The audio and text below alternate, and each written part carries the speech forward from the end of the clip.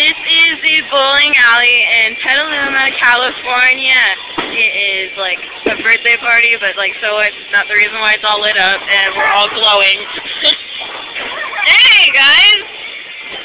I can't see your head and that's not blocking my view. Totally that, oh, that's just nasty. okay, this is getting put on YouTube by the way. Alright, let's hope that we get a lot of views. Gotta go.